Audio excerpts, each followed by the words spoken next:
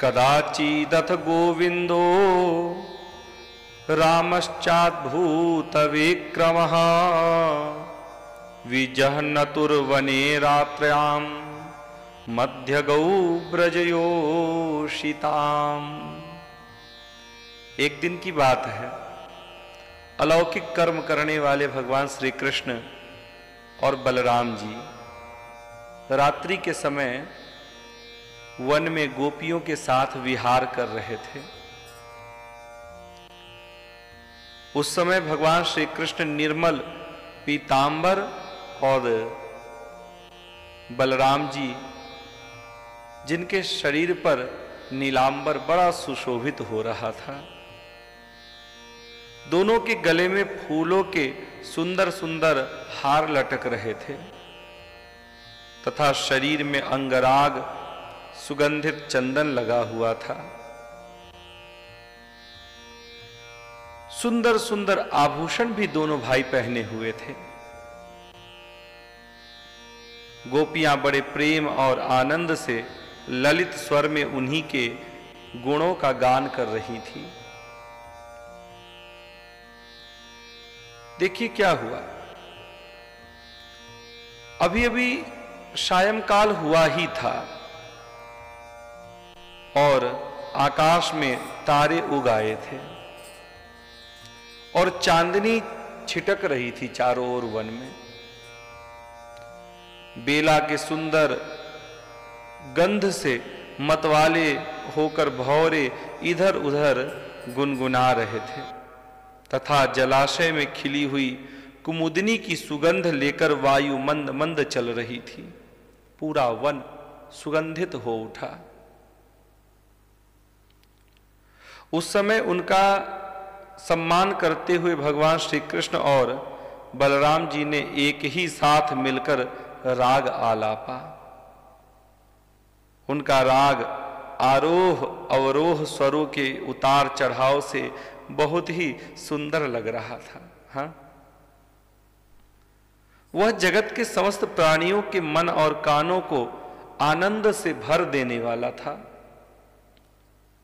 उनका वह गान सुनकर गोपियाँ मोहित हो गई थी।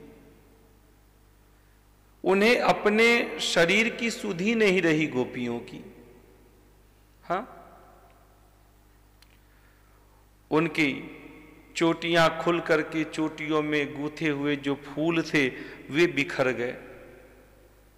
गोपियों की कोई, गोपियों को कोई सुधि ना थी। अच्छा ये सात्विक भाव में भी आता है। आठ प्रकार के जो सात्विक भाव बताए जाते हैं, उनमें से एक ये भी है, सुधी ना रहना, पसीना आ जाना, अचानक मन में उत्साह भर जाना तो अचानक रोने जैसा मन करना। इत्यादि इत्यादि आठ सात्विक भाव है। गोपियों की सुधी न रही भगवान, ने जब राग आलापा देखिए उसी समय की बात है। एवं विक्रीडतो स्वैरम गायतो संप्रमत्तवत शंखचूड़ इति ख्यातो धनदानुचरोभ्यगात उसी समय वहाँ शंखचूड़ नामक एक यक्ष आया। वो यक्ष कुबेर का अनुचर था। सुखदेव जी कहते हैं कि परीक्षित, दोनों भाइयों के देखते देखते वह उन गोपियों को लेकर बेखट के उत्तर की ओर भाग चला। जिनके एकमात्र स्वामी भगवान श्री कृष्ण ही हैं, वे गोपियाँ उन भगवान श्री कृष्ण और बलराम से रो रो करके कहने लगी।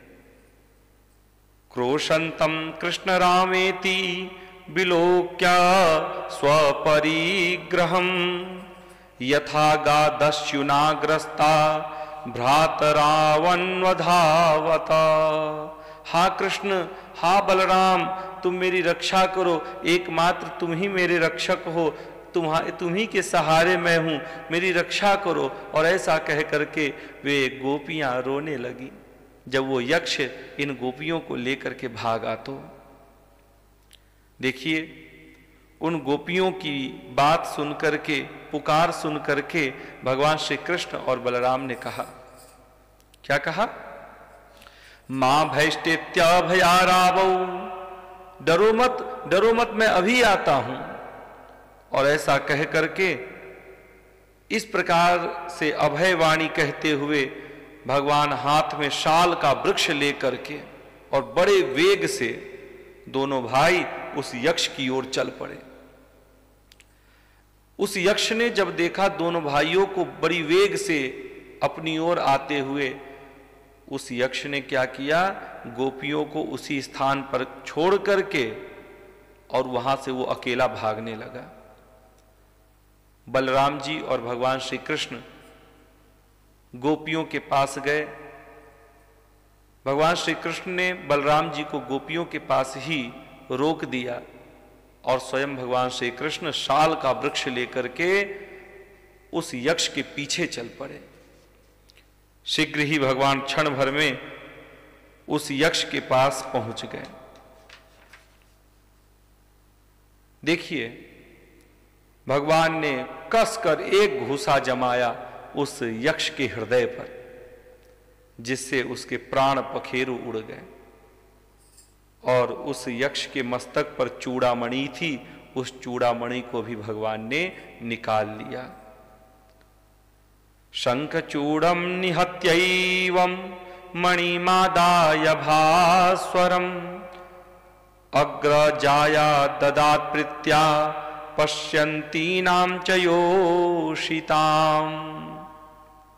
पुनः भगवान उस मणि को लेकर के बलराम जी के पास आते हैं और अपने बड़े भाई बलराम जी को चूड़ा मणि दे दी और उन गोपियों को लेकर के पुनः भगवान ब्रज में लौट आए।